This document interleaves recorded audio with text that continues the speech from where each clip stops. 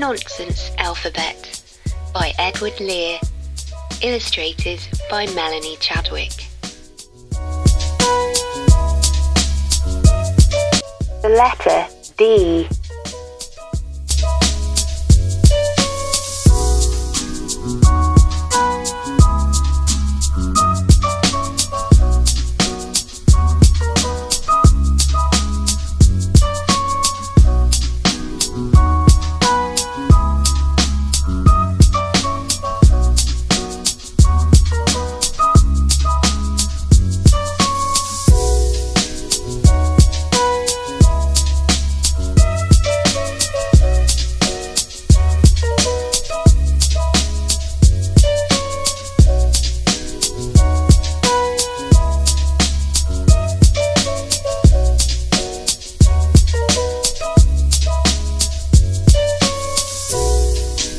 D was a duck with spots on his back, who lived in the water and always said quack.